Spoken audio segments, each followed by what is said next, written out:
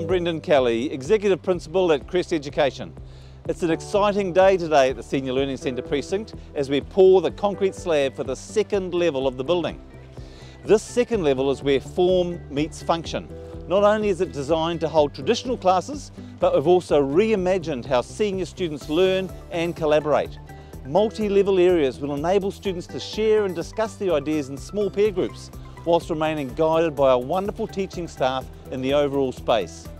From the well-being focused ground level to the learning driven second floor, the Senior Learning Precinct is centred around providing the very best opportunities for our Rivercrest and Hillcrest students. Stay tuned for more exciting updates.